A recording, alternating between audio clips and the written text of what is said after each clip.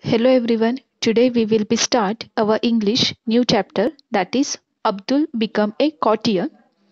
Actually this is a small script and in this script there are the six character. The major character is Abdul. Then there is Abdul father. Next character is merchant. Then Abdul one friend. Next character is emperor and the last character is minister. We learn or we will learn this script in a story format. I just explained the this script in a story format. So listen carefully. If you listen carefully, it will be easy to understand the script. Abdul is an ambitious young boy who wishes to study and rise high in the world. He asks his father for money to buy books, but his father does not have it.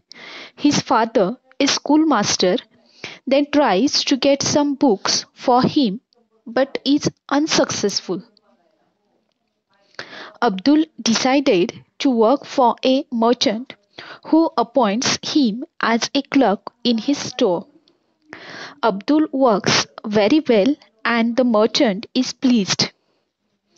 When asked what he wished as a reward, Abdul requests the merchant's permission to read all the books in the store.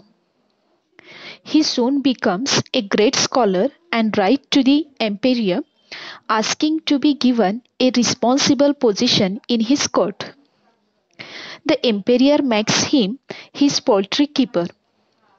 Though disappointed, Abdul accepted the offer and decided to put it to put it to good use. He works with great enthusiasm and intelligence. He hits on the plan of feeding the hens on scraps, shells, and waste from the kitchen. Thus, he spent very little on the hens. At the same time, the hens relish this food and thrives on it. The emperor is impressed and put Abdul in charge of his library. Abdul, who wishes to become a courtier, is disappointed once again but accepts the new job cheerfully. After a year, the emperor visits the library and sees that all the books have expensive jackets made of silk or a brocades and a velvet. Under the impressions under the impression that a fortune has been spent here, he is shocked. Abdul assures him that the jackets were made from the bags that were discarded after the official documents had been read by the emperor. The royal tailors had been pursued to make the jackets free of cost. The emperor finally realized Abdul's worth and made him his courtier. Thus, by using his wits and brains, and by having the qualities of perseverance, determination, and patience, Abdul finally achieved his ambition of rising high and becoming a famous person.